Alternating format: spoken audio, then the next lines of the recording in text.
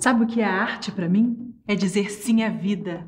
Cada vez que eu molho um pincel de tinta, ou preparo uma massa, ou desenho numa folha de papel, eu estou dizendo, eu estou viva e minha arte será eterna mesmo depois de minha morte. Sei que definir o que é arte é coisa que gente muito mais estudada do que eu passou a vida tentando fazer. Mas mesmo que eu só tenha me alfabetizado aos 37 anos, a arte faz parte da minha vida desde que eu me entendo por gente. Ela estava nos bordados que minha mãe fazia.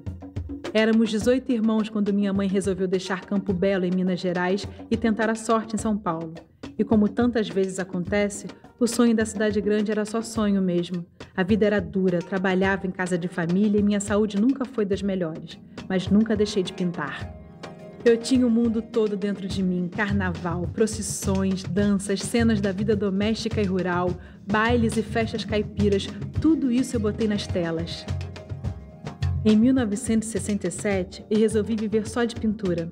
Passei uma temporada em Embu, com o poeta e teatrólogo Solano Trindade, mas logo voltei para São Paulo para expor e vender os meus quadros na Praça da República. Cheguei a expor no Consulado dos Estados Unidos.